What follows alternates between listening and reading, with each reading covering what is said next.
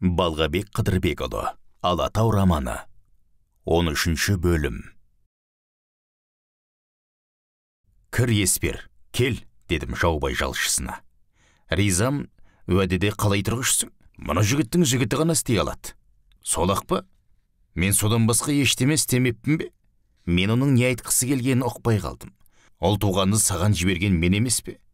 Қойлыбай мен дәуқараға қосыла шапқан мен едім. Өйткені қалақбас балалармен келген жалшының бірі менің ағайыным еді.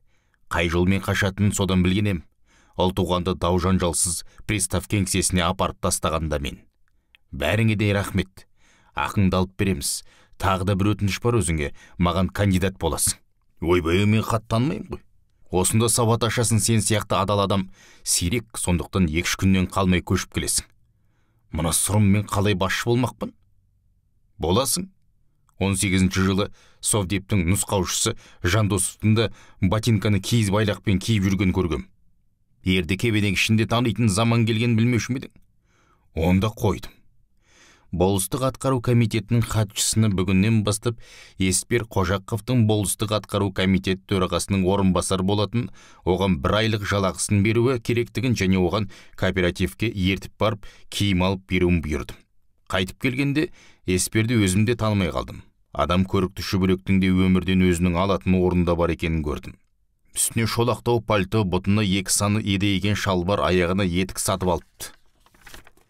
Азғантай ақшаға қарыз болып онысын келесі айда беруге дүкенші келісіпті. Бас киімі болмай тұр деді хатшы. Бас киімі де болады көзелдің совет өкіметі тұрса әзірге менің көк құлақшанымды әкеліп беріңіз. Басына менің әскери құлақшанымды кигенде еспер өзгеріп сала берді. Сол еспер екеуміз дегересте түркістан компартиясы жетісу облыстық қалалық комитеті атқару бюросының жерсу реформасы нәтижесін шаруашылықтарды орнықтыру жөнінде 22 жылдың декабріндегі тоқтамын жүзеге асыруымыз керек еді. 17 пункттан тұратын ол қаулында мен күнделікті жұмысымда қолданатын болғандықтан жаттап алдым да және әр сөйлемін әбден түсініп алуға тырыстым. Басқа жолдастарға да соны ұқтырдым біз сол жолда бар жігерімізді салып білгенімізше совет саясатын жүзеге асырдық. Білгенімізше дейтінім біз қайсы бір марксизм ленинизмді жеріне жеткізе білетін адамдар едік. Бірақ әйтеуір совет өкіметіне ленин ісіне адал жандар едік. Жүрегіміз аппақ болатын. Дегерес коммуна болып 18 жылы ұйымдасқанда малды шаруашылық деп есептелетін. Мына бір ауылды көрдің бе шырағым деді шұнақ шал аяғымыздың астында тау бауырында тұрған бір ауылды көрсетіп. Соны ауыл ретінде прудки деп атайды. Колхоз аты новая жизнь қазір сол колхоздың гущин деген председателі бар. Қырық жетінші жылы астықтан мол өнім алған үшін оған социалистік еңбек ері атағы берілді. Жиырмасыншы жылдары сол жас грушин облыстық жер бөліміне істейтін еді. Біраз уақыт облыстық жер бөлімі меңгерушісінің міндетін де атқарған. Қазір кездескенде абақ ренжіме ер жігіттің басына не келіп не кетпейді. Бір кісідей совет өкіметіне еңбек сіңірдің әділдік әлі үстем болады деп қояды. Егер екеуміз білетін коммунистік партия болса барлық қатені түзетеді деген еді оның. Айтайын дегенім сол емес еді ғой дегерес жай. Сонау жиырмасыншы жылдар сол гущин қол қойған бір документте былай деп көрсетілген. Екі. Швиц тұқымы 189 оның ішінде жұмыс өгізі 19 бір жарым жастағы және одан жоғарысы 11-19 жылғы өгізше 21 және тана бұқа 16 құнажын және сиыр 72 тайынша 27 және биылғы бұзау 23 қойдың үш тұқымы бар. Қазақы қой 1241 шропшир 287 рамбуле 32 жөндеу шеберханасы мен машина жалға беретін орны бар. Міне біз істі осылай бастадық. Басқа мал мүліктің бәрі негізгі байлардың кулактардың қолында. Бұл кезде менің төңірегімде де біраз салпаң құлақтар жұмыс істеп шөпшең еріңдер желмауыз жез таңдайлар оған сөз қосып отыз тістен шыққан сөзді отыз рулы елге таратып әкетіп жатты. Абақ атасы ауылына барыпты. Бірақ оған сәлем бермей енесі үйіне ғана қайтыпты. Керек десе шай да ішпей кетіпті. Шамасы енесі жаубай соңғы жылдары құлқашты қолпаштап қошеметті көбіне соған соның қордай асуындағы қырғыз салт төріне көрсететін күйеу баласына тәптештеп айтып жаубай қорлық көрсет қолынан егер бірдеме келетін болса соған істе мен енді байсырап бара жатқан жоқпын депті десе енді бір сыпырасы жаңа болысымызда өзіміз сияқты қарға тамырлы қазақ екен бұл талағы да бар көрінеді. Қайын атасына қойыртпаққа малыңның тең жарысын бөліп бере тұр сонда басқа келген пәледен бастан құлақ садақа болады. Ертең ел егер болар шақ туса байдың малын хаттайтын атын даттайтын күн туса шаңырағың шайқалмай босағаң берік болға жәрдемдеседі бәйбішеңді бөліп таста балалардың еншісін бер бәрін бөлек бөлек қондыр қараңғыда қамандай күркіреп сөйлескеніңмен күндіз жыландай жылыстап жоқ болып кетіңдер. Істерің бірге болсын сөздерің басқа болсын деп ақыл берген көрінеді десіпті. Енді біразы абақ тасқа желіндеп мұзға бұзаулаған адамнан туған жат бауыр оның досы да туысқаны да большевиктер. Оның ішінде түк шықпайтын тігерге тұяғы жоқ үстінде үйі жоқ бауырында қазаны жоқ теке лақ сойса түйе сойғандай атала ішсе кекірегі азып тойғандай болатын кедей кембағалды жоқ жітікті кемтараларды жақтайды. Көрмейсің бе келе сал беспер сияқты қоға төсенген доға көтерген бауыры тақырды қолға алды. Солардан кейінгі досы да ақылшысы да алжыған сары кемпір көрінеді. Сары кемпір санатқа ілінбегенше бай атаулының басына әңгір таяқ ойнайды орыстың кулактары қалай ойрандаса қазақтың қадірменді қадыр қонған байлары солай су түбіне кетеді деген сөз десіпті әрине осының бірде бірін кедейлер айтқан жоқ. Ол момын байғұстардың көбісінің мойнынан бай кигізген бәйбіше түзген нәлет қамыт әлі арылған жоқ еді. Сондықтан да бірде екілі көкірегінде сәуесі барлар болмаса ғасырлар бойы ұйқысынан марғаулықтан әлі жалпы тегіс ояна алмаған еді. Енді біреулер бәйбіше үйіне барғанда күйеу баласына шай бермегенімен жаубайдың жеті ата жеті тұс тұсынан келе жатқан алтыны бар екен. Ол бәйбіше қолында болатын. Бәйбіше жаубайға өшіккеннен соны абаққа беріп жіберіпті. Суық төбеге маталған бір шөкім бұлттың бүкіл жетісу өңіріне азға апарып су салатыны сияқты жаубай дәулеті де сол алтынға байланып тұрса керек. Енді ол құтты бәйбіше болыскей құтыға салып сорлы шынтиған шұнаққа беріп жібергендіктен көпке ұзамай жаубай босағасы бұзылады. Шаңырағы шарт кетіп ортасына түседі деп сөз тартты. Япырмай інішек ол кішкентай құтыны енем маған ұстатқанда жан баласы жоқ еді. Өсек қайдан қалай шығады? Әлде біреу сығалап тыңдап тұрған болар ма? Расым інішек ол құтыға мен пәлендей мән берген жоқ осы күзгі қауға тиген өрттей қаулыған өсектен кейін ғана оны қолыма алдым. Мұны ешкімге де айтқан емен тіпті салиман шешеме де айтулы жұмыс бабымен жүріп ұмытып кетіппін. Сол жылы көктем ерте басталды және ерекше бір жанға жайлы болды. Жаңбыр алғашқы кезде көбірек жауды да артынан түнде жауып күндіз ашылып күн оның үстіне жылы болып көп жылқы шықпаған шөп шығып келе жатты. Күндіз ашылып күн оның үстіне жылы болып көп жылқы шықпаған шөп шығып келе жатты. Ыраңның өзі қар кеткеннен кейінгі он күнде ду көтеріліп жерді жасыл кілем тегіс жапты. Дегерес төңірегіне қоныстанғандар мойын серікке ұйымдасып азды көпті егін сала бастады. Барлық назарымыз сол дегре шаруашылығының малымен жаңадан жер салып қоныстанған қазақтар мен орыстарда. Жер 21 жылы рихард егоров деген кулактан тартылып алынған екен. Оның өзіне үш десятина жер қалдырылыпты да мал мүлкінің көбі конфескеленген екен. Бес ұл үш қызы бар егоров жасы қырықтан асып қалған.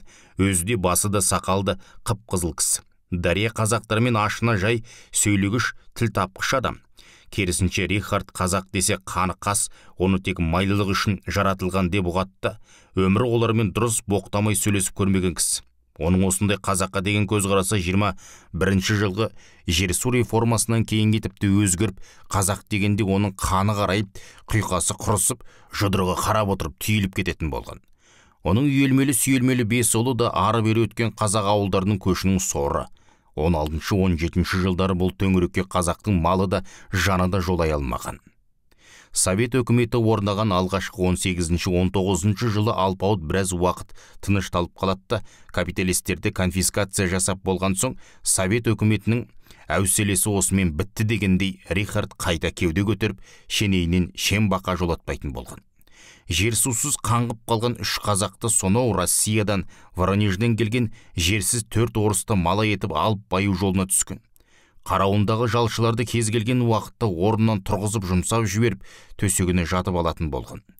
Алыстан жүдеп жадап келген жерсіз орыстың бірі неизвигиннің үлкен ұлы федор рихардтың хайуандығына шыдамай үйінен безіп кеткен. Бір күні іңірде рихард олардың үйіне келді. Үй іші жатып қалған. Өйткені қазақтар сияқты май шам жағатын малы жоқ. Егер шешесі қазақтардан май сұрап әкеле қалса үйдегілер оны шам білтелеп жаққанша нан батырып жегенін жақсы көреді. Ал жер май қолға түсе бермейді сондықтан ерте жатады. Федордың онға толмаған бала кезі бірде жазды күні түнде. Алексей шық бері деген рихардтың даусы естіледі. Олар бірдеме деп сөйлескен соң әкесі қайтып үйге кірмей бір жаққа кетеді. Сәлден кейін үйдегі шыққан дауысқа бала федор басын көтерсе рихард шешесінің жанына келіп шешініп жатыр. Бала қарауға қорқып көрпеге тығылады. Хозяин мұның адамшылық емес қой деген шешесінің ащы дауысы естіледі. Міне саған адамшылық. Саған айтылған екен қаншық жатуың керек дейді рихард. Бұдан кейін шешесінің гүрс етіп жығылғаны жылаған естіледі. Таңертең әкесі келді. Бет аузы аяқ қолы батпақ. Шамасы түнімен егін суарған. Кетейік бұл жерден әке деді бала. Неге? деді әкесі. Қайда барамыз? Қалай күнелтеміз бала сонан соң ертесіне бұл жерден бір жолата қашып кеткен. Кейін естісе шешесі құсадан қайтыс болыпты. Әкесі рихардты біреудің мылтығын сұрап алып атып тигізе алмапты. Ол әкесін ұстап алып сабап сабап сібірге айдатып жіберіпті. Бұл төңіректен қазақ ауылының жайлауға қыстауға көші бір қиян кескі майдансыз өтпеген. Қазақтың өмірі мойны байлау көрмеген қазақы иттері осы жерде бұғалықтанып бала шағасы дыбысын шығармай бір уыс болып өтетін болған. Егер жазатайым тауық көрмеген қазақ итінің бірі бір тауықты қуып қақылықтаған дауысын шығаратын болса ол ең кемі бір қойын әйтпесе ірі қарасының бірін алып қалады екен. Сөйтіп дәндеген рихард бір күні өзінің қазақ малайы дастанның жаңа алған жас келіншегін көріп қызығады. Дастанды жұмсап жіберіп тапа тал түсті жерде кір жуып отырған рауанды бас салады. Келіншек ой байлайды. Келіншектің аяғында кебі мәсісі бар екен. Болмаған соң ырық еткізіп қазан толмастан рихардты бір тебеді нәзік қазақ келіншегі мұндай күш көрсетеді деп ойламаған рихард шалқасынан түседі талып қалады. Мұның осындай барын алексейге тағы басқа қарауындағы орыстарға істеген қиянатын хабардар дастан төңіректі тінтінектеп әлі ұзай қоймаған екен. Жүгіріп келсе рихард әлі есін жимапты. Оның есінесіне келіншегі есік алдында жатқан түйтені әкеле жатыр. Ей тұра тұр не болды? дейді.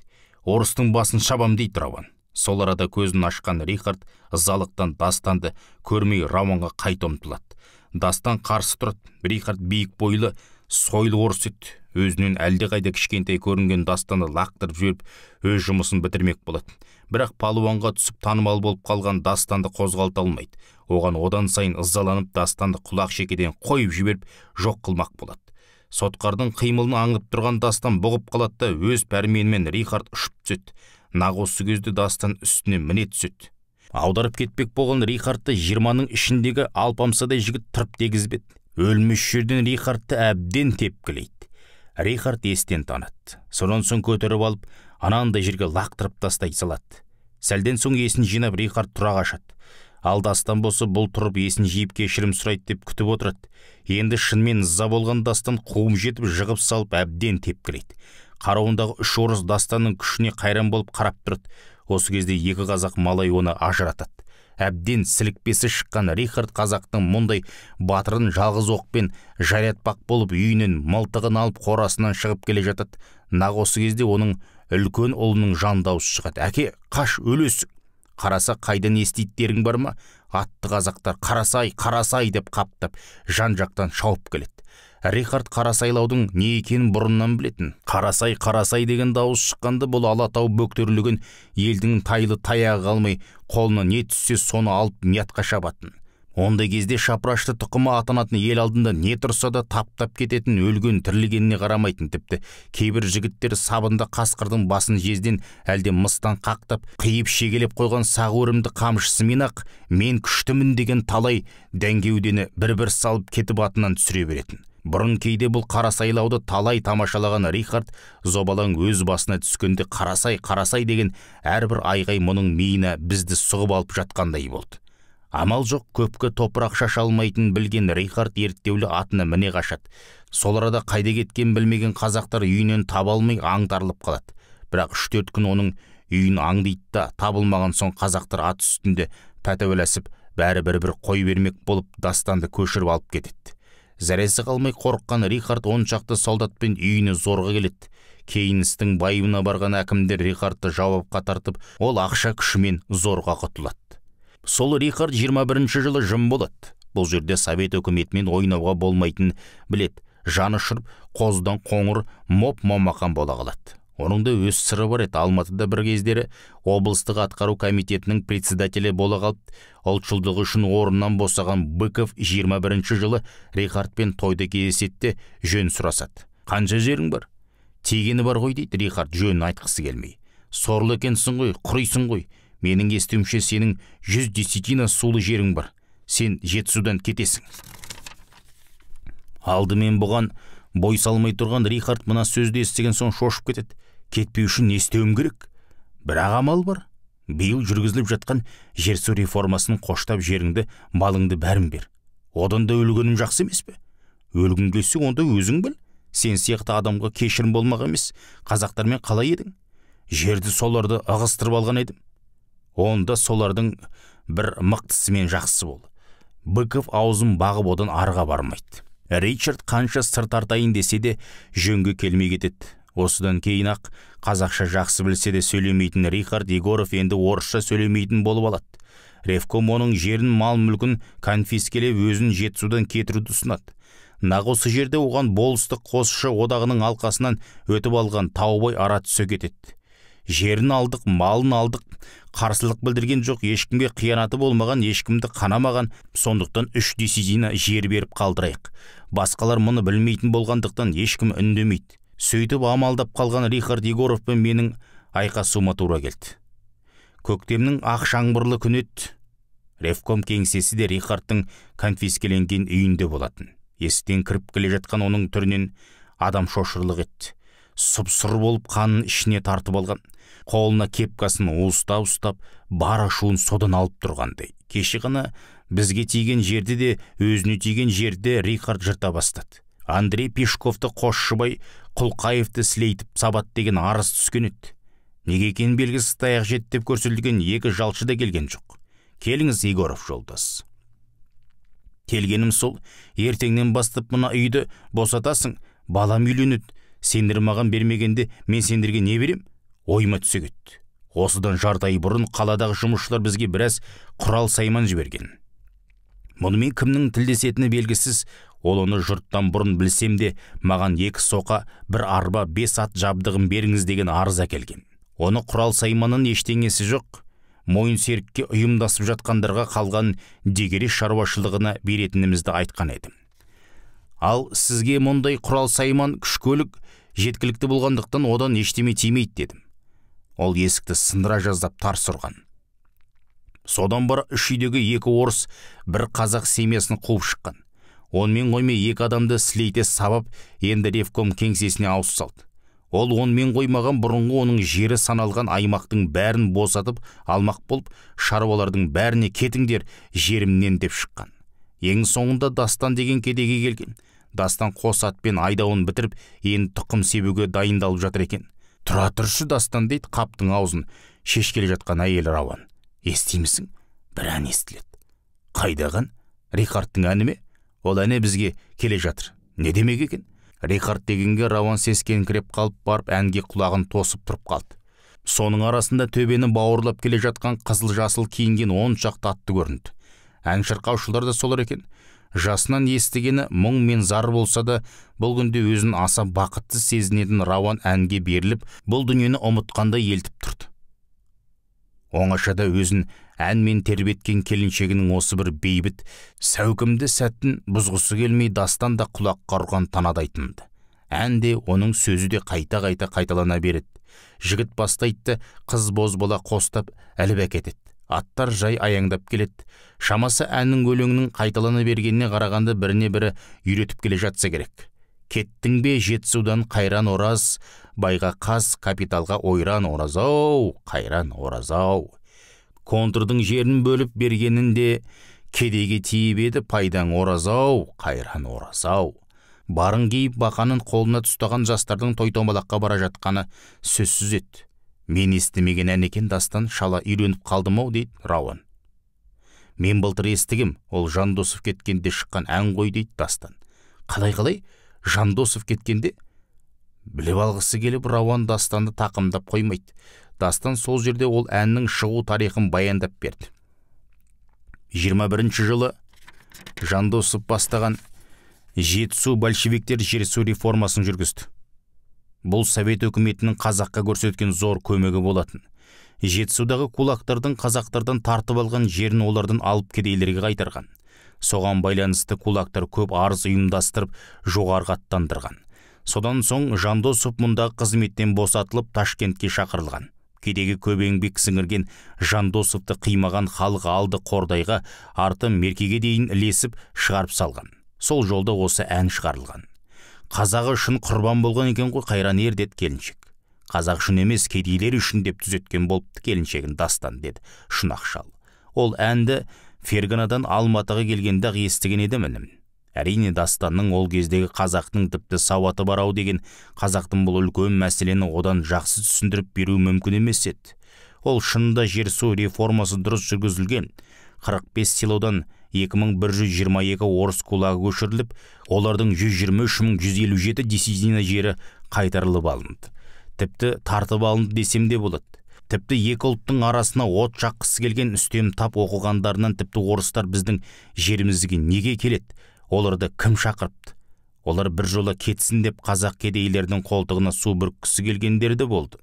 Ол олма сөз жоқ барлық ұлттардағы сияқты інім біздің де оқығандарымыздың көбі дерлік бай баласы еді. Олардың біразы большевиктік идеяға берілгенмен көбі ақ іннің түбіне қарап жатты ғой. Олар да бергі жағынан бір сыпырасы жерсу реформасын қоштаған болып араласып жүргендер әдейі кейбір орыс шаруасын тізімге қолдан қосып жіберіп отырды. Өйткені бұл совет өкіметі жүргізіп жатқан шараның зор ұйымдастырушылық күші бар екенін олар анық көрді. Оның үстіне бүгін орыс кулактарының басына түскен жағдайдың ертең қазақ байына келетін олар білмейтін ақмақ емес еді. Сондықтан конфискациялауға жатпайтын орыс шаруасын қосып жіберіп отыру шатақ шығару үшін арыз жаздыру үшін керек болды. Тексере келсе оның дәлелденетінін білді. Нақ осы жерде қазақ пен орыс арасына сына қағу от жағу үшін де ол бірден бір қолайлы шара да кезеңдеді ал орыс кулактары патшаны жақтайтын одан шеншекпен кигендерді жақындары олар да тыныш жатқан жоқ. Қателіктен немесе жоғарыдан айтылғандай жолмен бір әлді шаруа тізімге ілініп кетсе көрдің бе совет өкіметінің не беретінін? Олар қазақтарды ғана қолдайды дегенді шаруа құлағына сіңіруге тырысты. Сондайға еліккендерді кулактар тәуір пайдаланды. Міне осындай ірі істегі ұсақ түйек қателер болса да оған біреу жауап беруге тиіс емес пе? Облыста жүргізілген осы шараға жауапты адам жетісу облыстық әскери революциялық комитетінің председателі ора жандосов еді сондықтан сол мәселе бойынша орнынан босатылды. Халық жүрегінен орын алған адамды халық ұмытуға тиіс емес. Сондықтан оған деген махаббатын халық әнмен бейнелеген. Ол ән бүгінге дейін жетісу үстінде қалықтап жүр. Біреу ол әнді кенен шығарды біреу шүкітай шығарды деседі. Кенен шығарған әнді өз аузынан талай естідім оның мақамы да өлеңі де тіпті бөлек. Дұрысы сол әнді алғаш айтушы біреу болуы мүмкін бірақ келе келе әні де өлеңі де тиісті өзгерістен өтіп ешбір шығармаға ұқсамай өзіндік сипат алған. Ол әннің екінші шумағы қаскелең шамалғанмен жерің қалды әжеке орынбетпен елің қалды делінеді. Ал мен білетін жандосов інім ешқашан әжеке орынбет тіпті шапырашты болып көрген емес қаскелең шамалғаншыл да емес большевик болатын сонан соң барып қазақ болатын. Біз жандосовты большевик деп қана білетінбіз. Ол бар мәселені сол тұрғыдан шешті. Ал рқп орталық комитеті жетісудағы жер су реформасы мәселесін әбден зерттеп жандосовты бұрынғыдан жоғары қызметке яғни рқп орта азия бюросының мүшесі түркістан компартиясы орталық комитетінің насихат және үгіт бөлімін басқаруға жіберді.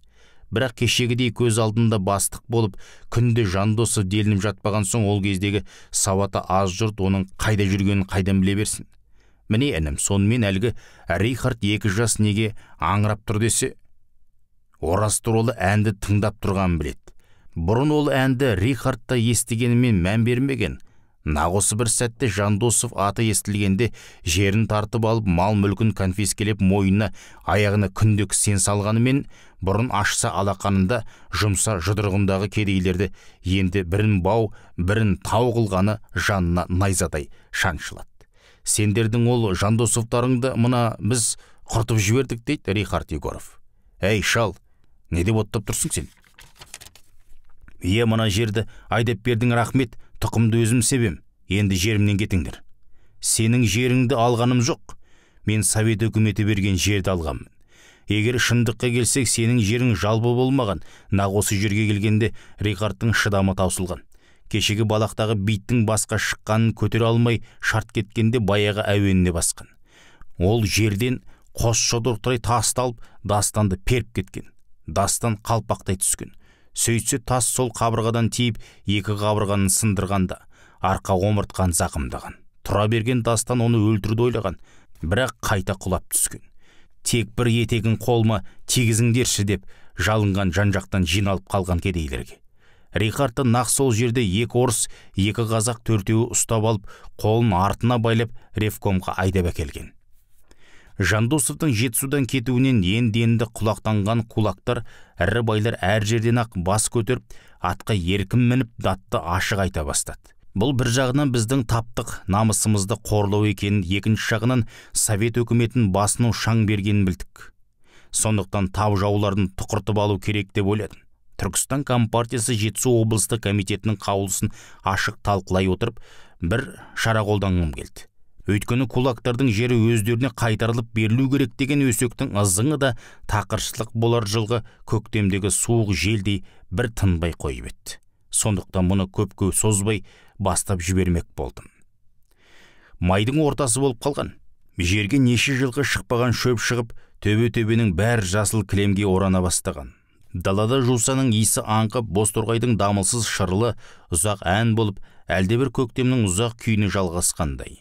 Күнде болмаса да күнара жауған жаңбыр диқанның шаруасына болсайын дегендей үнемі түнде жауады және майдалап сіркіреп тұрады. Таңертеңде жауып тұрған жаңбыр тыйылып күн ашылып кетті. Жердегіді ұлы сәске болғанда жиналысымызды бастадық. Дегрестің үсті барқыт кілемдей аяғынды басуға аяйсың. Жұрт беткейді бірі атты бірі жаяу кейбірі көкке жантайып жатыр. Атына сенгені тұсап сенбегені өрелеп шідерлеп жіберген. Халық жаңбырлы жылғы шырыштай қалың дегерес болысына қарайтындардан ешкім қалмаған ба деймін байқайын баяғы санатпен ауылды ақсақалдар байлар ең болмаса ауқатты атқамінерлер бастап келгенге ұқсайды.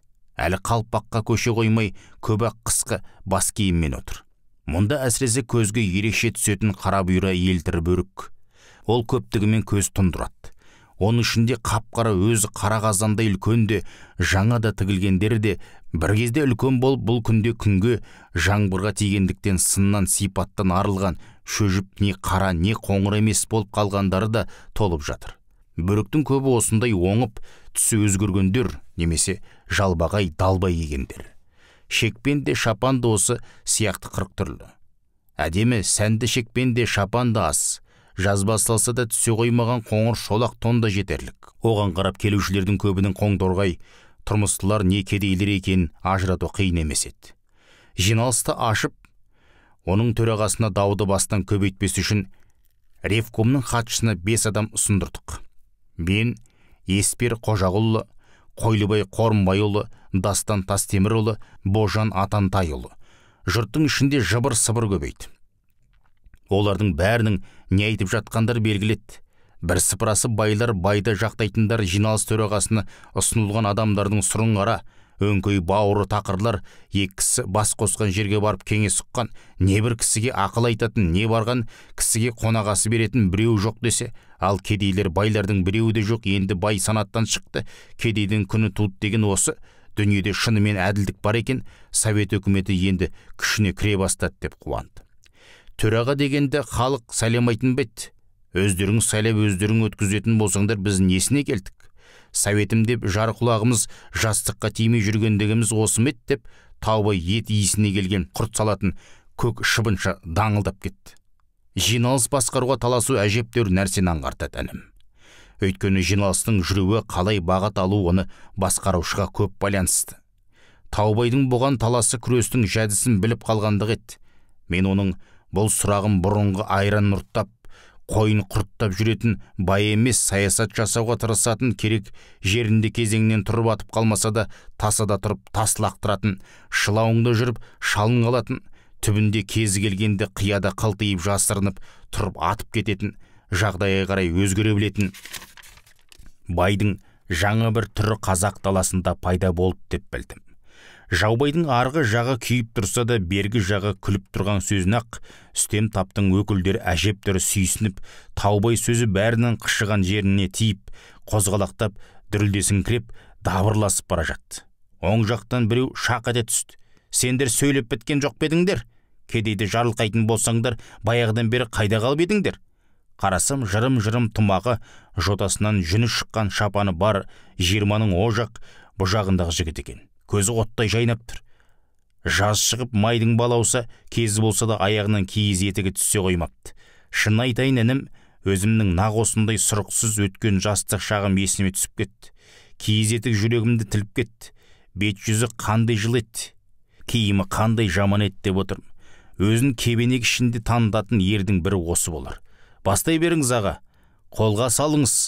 Қолға салатынды бұл қайдан білді екен? Япырмай өзі ұлтараққа қалай ұқсайды? Байлардың саяси беттерін көрсете түсу үшін таубайды бірден кесіп тастамадым.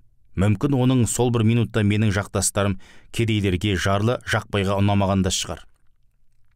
Байлардың байды қоштаушылардың ішіне үңілу үшін әдейі сөйлеткім келді. Егер таубайды тыйып тастасам басқалар үндемейді. Бітеу жараша дүңкиген қалпында кетер еді сондықтан таубайға айтқан болып халыққа сала сөйледім. Сізге жиналыс ағалығына ұсынылғандардың кімнің аты ұнамай тұр? Еспер қожағұлы ма? Жеті. Атасынан бері кедей. Он жыл бидас тойбайдың жеті жыл сіздің қойыңызды бағып жалшылық еткен. Жұрт шу ете түсті.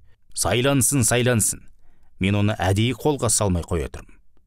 Немесе қойлыбай қорымбайұлы ма? Ойбай ау деді бір жалба томақ. Ол таубайдың әкесі жаубайдың құлақ кесті құл емес пе құлым өтіп өзім қалдым деп ішіне алау түсіп барады ғой. Бұл дауыс екінші бір жақтан басқа ауылдардан келгендер арасынан естілді. Бұл кезде ауылда әлі де рулық қалып сақталып қалғанымен байлар дауыс көтеруге байқап байқап баратын болған. Шаруалардың көбін салықтан босататынбыз да барлық шаруа салықтың отыздан сәл астам процентін төлейтін ал жетпіс процентін малды да астықты да байларға артатынбыз.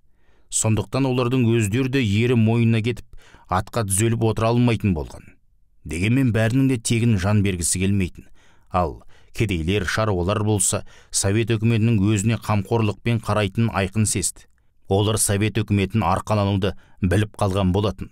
Байлар бұғып дауыс естілмейді де керісінше кедейлер айғайлап сайлансын сайлансын десті. Сайлансын мұны да әдейі қолға салған жоқпын әлде дастан тастемірұлы бошын атантайұлы ма? Қайсысына қарсысыз әлде осылар байдың сөзін сөйлейтіндер ме онда ашып айтыңыздар. Онда таубайдың жұмысы не? Былжырамасын деп біреу беткейдің жоғары жағынан гүр түсті. Ендеше қайсысы? Мені айтар ма екен деп тұрдым. Жоқ совет өкіметіне ашық қарсы тұрғысы келмейді. Бәрі де өтсін. Өтсін кедейлер жұрт шуласып барады. Ендеше қолға салам. Аталған адамдар тегіс жиналыс ағалығыны өтсін дегендеріңіз қол көтеріңіздер. Бәрі түгел көтерді деп есептедік. Қол көтермеген байлар ішіндегісін айта алмай құса болып қалды. Мен совет үкіметінің бүгінгі жүргізіп отырған саясаты қай мәселеге көңіл аударғысы келіп отырғанын жүргізілген жер реформасының жетістіктерін баяндандыру туралы айта келіп рихард егоровқа тоқтадым. Оның жайын тегіс баяндадым. 21 жылдан қалып қойғаны күмәнді дегенде қыстыра кеттім. Мұндай колакты арамызда қалдыруға бола ма дедім мен жұрт пікірін білмек болып. Кетсін арамыздан кетсін жетісудан кетсін жетісудан аласталсын. Бұл дауыс тек кедейлердікі ғана емес болатын онда байлардың да дауысы бар еді. Әрине кедейлердің көп ақ үстем тап ретінде кулактың ауыздықталғанын жақтады ал байлардың да көп ақ арындап тұрып бұл ұсынысты қолдады. Бірақ олардың жақтауы бір таптың екінші тапқа деген көзқарас емес бұл ұлттың екінші ұлтқа жауық етті біреу қол көтерді таубай екен. Сөйлеңіз.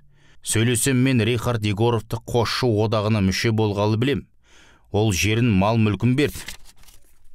Совет үкіметіне қарсы келген жоқ.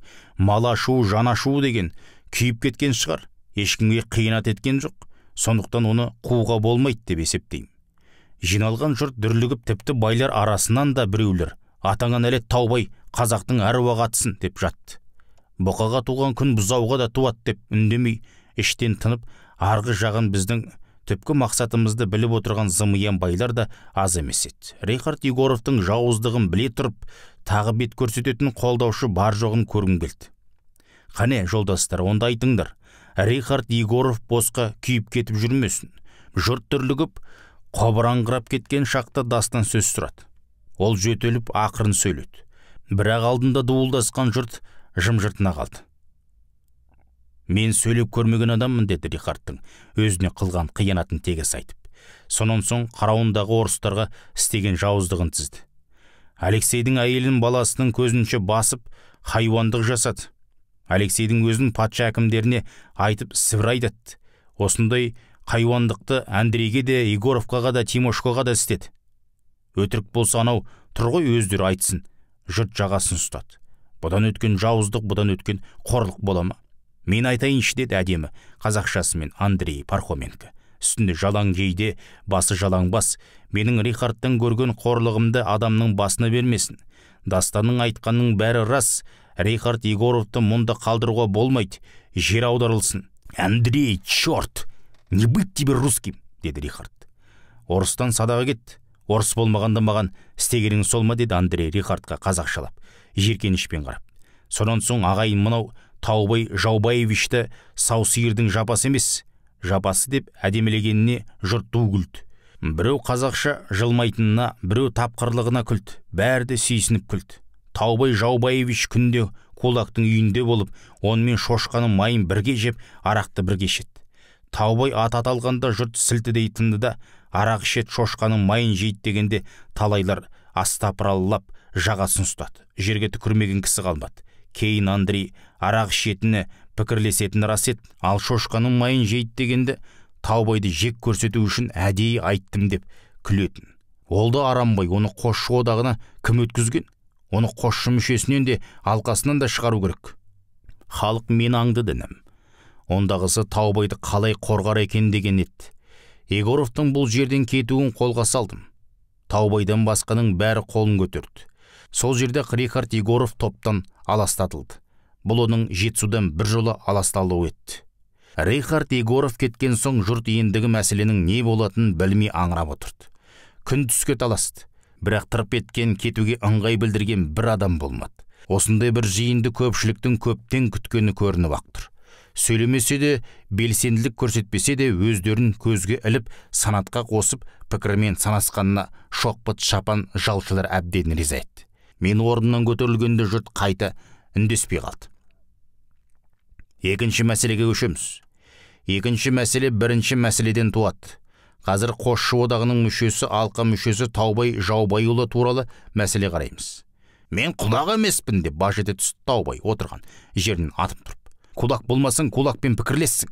Күнде соның үйінен шықпайсың. Кулак болмасаң осы өңірдегі бар кедейдің қанын сорған сүліксің деді андрей. Тіпті қазақшасы соншалықты жатық сөйлетіп қойып тыңдап отырғандай еді байлардың ішінде қозғалақтап қалар болар екен дегендері сезіліп ақ тұрды қосшы одағына қалай өтіп кеткен деді дастан. Сөз қойлыбай қорымбайұлына беріледі. Қойлыбай жиналыс басқарушыларға қойылған үстіне қызыл борлат жапқан столдан сонша қолапайсыздықпен тұрды. Қызыл борлаты сүйреңкіреп бір жағын салбыратып жіберді. Мен айтсам былай деймін жаубайдың баласы мына таубайдың өмір бақи жалшысы болдым. Жиырма бес жыл ақыма жалғыз шабан қызыл өгіз алдым. Енді қойлыбай тығылып қалды. Сөйлей алмады. Таубайға аға мүше болған қосшы одағының бізге не керегі бар? Одан да байларға берейік. Әйтпесе таубай ағаны ол одақтан шығарайық. Ә, баймен қандай одақ болмақ? Бай болмағанда қандайы жуан жұдырғы сойқан содырлысы бұл кезексіз сөйлеген бағанағы ұлтараққа ұқсас жас жігіт екен. Мынау кім еді деп сұрады есперден тәшен байдың жалшысы құл болды деген жігіт. Мен сөйлейінші деген әйел дауысына қарасам нүрге байқайм әйелдің сөйлейм дегені қазақтың осында отырған еркек атаулының біразы ұнатпай қалды. Бұл өңірде баяғыда топты сөз сөйлеп өз басын қорғап шыққан сәлиман шешемнен кейін жиында әйел даусы естілмесе керекті. Сөйлеңіз дедім. Енді не демекпін? Егер совет өкіметі болмаса нұрияға сөз қайда? Маған осындай ұлы жиынды басқару қайда? Нұрияны таубайдың көргені осы болу керек. Сұқтанып жаубайдан мұра болған жылан қарағын қадап алыпты. Нұрия бұл кезде шар тартып байсалды әйел болған. Нақ сол шақта ол осындағы сауаты бар екі үш әйелдің бірі еді. Үстіне киген киімі қалаша басындағы бір тартар орамалын қайта таңып қойып сөйлей жөнелмек о дүние әйелге теңдік тиіп заман өзгерді ау деп беткейде жатқан шалдау кісі басын көтеріп отырды. Заман өзгерді дегенді әркім ақ қайталады ол орнынан тұрып сөз сұрап орамалын қаттырақ байлап алғанша біреулер сыбырласып оның жаубайдың інісі даубайдың тоқалы таубайдың жесірет дегенді білдіріп жатты. Нұрия қысылмады. Шешінген судан тайынбас деді ме бәрін жайып салып қалай жаубай ауылына келін болып түскенін қысқасы жыртық құйрықты сипағанша деп аманмен қашқанын айта келіп соңында былай деді. Мынау таубай менің қайным еді. Тайсалмай таубай деуін қарашы. Имансыз қатын ғой бұл. Енді осылай болып кетті ғой әйел атаулының беті ашылғанның алды ғой бұл деп жатыр бір теріс қараған шал. Даубайдың барындақ деді нұрия мына таубай аманмен неге жылы сөйлесесің деп мені ұрып шыққан мен әйел емес ол ауылда есіктегі ебей күң болдым. Мен білетін анау таубай мына отырған сәрсенбай тілеш керім осылардың бәрі де бұл бай ауылдан соқыр тиын алмай кеткендер. Бәріне мына қаныпезер таубайдың таяғы тиген. Тілеш сені сар жазықты ұрып жыққан кәне? Керім саған үш жылғы ақыңа құрттаған ешкі ал деп келеке қылмап па сен сорлының құрттаған ешкім де жоқ қой демеп пе нағып бүгін бұғып отырсыңдар таубайдың қорқудың. Керек жоқ. Оның күні батқан атқан таң біздік. Міне мына тілші газеті былай деп жазып отыр. Ол қойнынан газетті суырып алып оқи жөнелді. Бағанадан бері мұны әйел деп қарап еркексіп отырғандардың біраз ақ басын жерден жұлып жұлып алды қазір байлар бай балалары қулаққа көшті. Олар айла амалын тауып партияға кіріп қосшы одағына мүше болып алды. Олардың қосшы одағына өтіп кетуіне тыйым салу керек. Міне қалайық. Сол аңқау елге қамқор болып көрінбек мына таубайды қосшы одағынан аластау керек. Інім еркек қойлыбайдан әйел нұрияның сөзі өтімді болды. Енді жаңағы нұрия атын атағандардың бәрі сөйлеуге қол көтерді деді шұнақ шал есінеп. Сонан соң ол күн көзіне қарады. Суық төбеге көз салды. Күн қызды.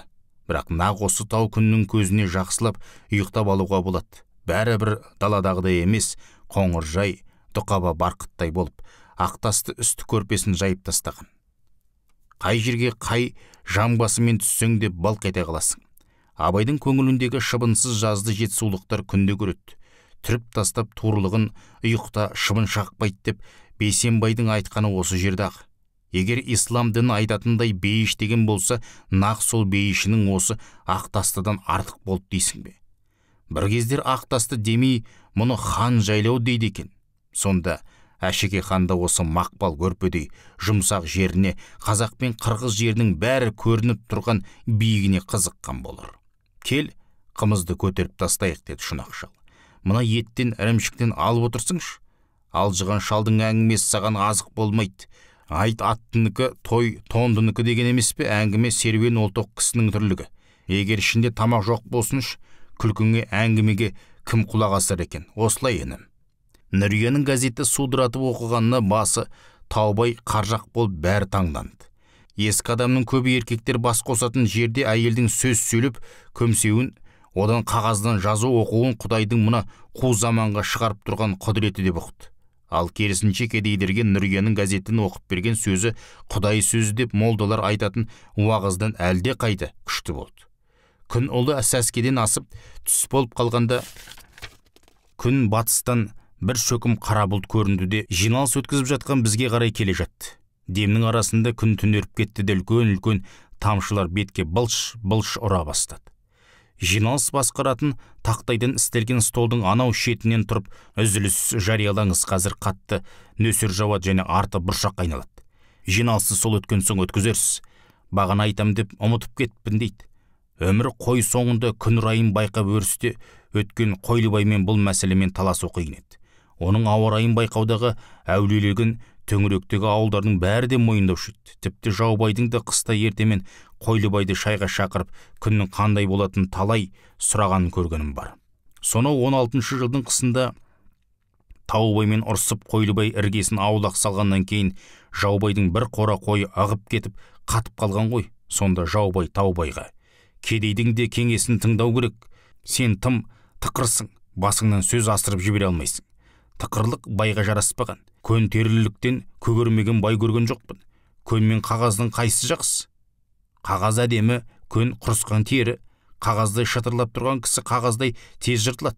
Сен тез жыртылдың. Қойлыбайды қолдап шығармағанда бір қора қойды он қора болатын еді депті. Қойлыбай қазір бұршақ жауатынын айтқанда жаубай солай депті деген сөз есіме сап ете түсіп осы қойлыбайды дегерестің қой фермасына бастық қойса қайтеді деп ойладым бұл қалай осыған дейін ойыма келмеген. Қазір бие сауым үзіліс жариялаймын. Мына қойлыбай бұршақ жауады деп тұр. Жаңбыр басылған соң жиналысты қайта бастаймыз. Білет дегенге мына кедейлер қайтеді аспандағы құдаймен де тілдесіп қойғандай болғысы келеді ғой дегенге қарасам қар жақ екен. Қойлыбаймен ойнауға болмайтын еді. Таңертең қойдың қорада құлағын қағуы иттің желге танауын төсуі жылқының пысқырынуы жер тарпуы қойдың өруі осының бәрін оның күн райын аңғарар барометр еді. Мұның сыртында жазбай оқымай күзде солай болған. Енді көктемнің пәлендей күні жаңбыр әлде қар жауады деп отырады. Солай болады да. Бұл жолы солай болды. Біз тұра бергенде ақ жаңағы үлкен тамшылар жиілетті нөсер сорғалап құйып кетті. Топқа келгендердің аттары теріс айналды. Тұсаулы шідерлі тұрған аттар құйрығын күнбатысқа бұрып тұқырып бүрсие қалды. Ал бұршақ төгет және етік басы көміледі. Бірақ әйтеуір ірі болмайды деді қаулыбай. Жұрт тасаға тығылып үлгерді ме үлгермеді ме нөсердің арты бұршаққа айналып төпеді келіп бие сауым жауған ұсақ жүгері дәніндей бұршақ үйіп салды. Етік басы көміліп сай сайдан су ағып жүріп берді. Шырағым аты жөні жоқ осы бұршақ жауғанның бұл жерде не керегі бар еді деме? Айтайын деген мәлгі таубай ғой.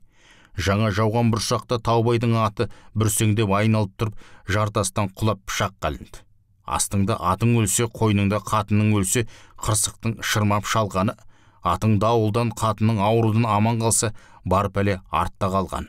Нақ сол жерде отырғанда дүрлігіп таубай енді судың түбіне кетті деп жатса керек.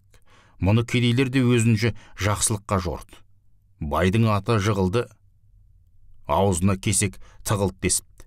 Енді біразы бұршақ жауып ауа райының бүлінуін нұриядан көріпті. Жаңағы қатын сөйлемегенде бұлай болмайтын еді.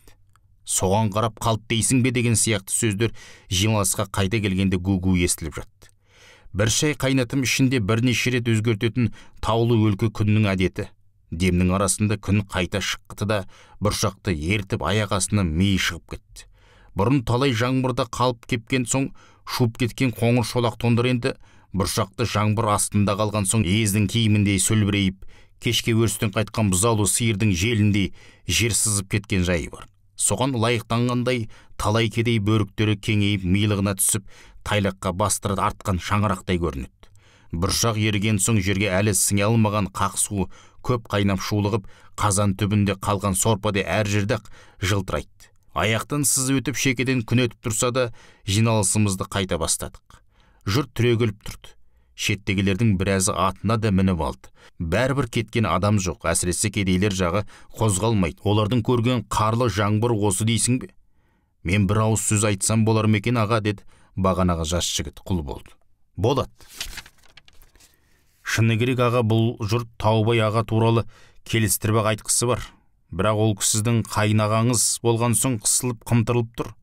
Мына жалба тұмақ жыртық бешпенттің бәрі маған сен айт сен айт деп тұр. Менің қорқатын түгім жоқ. Егер дегерес болысы болмаса бұрынғымшақ мына қарашадағы орыстардың шошқасын бағып ақ жан сақтарым. Бөдененің үйі жоқ қайда барса бытпылдақ деген біз боламыз. Шымылдығы желпілдеп тұрғанда мен емес он саулық бітпей ақ жаулық ұстататын түрі жоқ. Ал он саулық біз сияқты соры ажырамаған адамға таубай сияқты екі мың қойдың иесі қосшының мүшесі болып өтіп кеткен жағдайда әлі көп жыл бойы ұстатпайық емес. Мынау кедейлердің ішінде жаубай үйінің босағасына отырмағаны бәйбіше тоқал алдында бәйек болмаған жоқ екен. Сондай атасынан қан сорған кісі қосшыға мүшелікке өтіп кету үлкен қателік болған ғой деймін аға.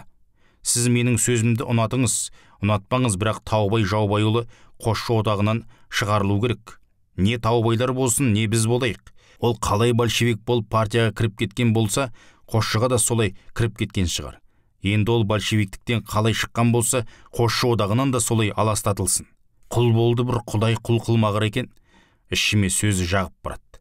Айта түссе екен деп отырдым. Шынында таубай соны он тоғызыншы жылы ептеп партияға өтіп кетіпті. Кейін партияға тазалау жүргенде белгілі бай екені білініп шығып қалыпты. Мен әлімбайдың керімінен бай емеспін. Ол облыстық бастықтың бірі ғой деп өкіректенген ақ екен. Бірақ облыстағы келген өкіл серғазы күшіков оны кесіп тастапты.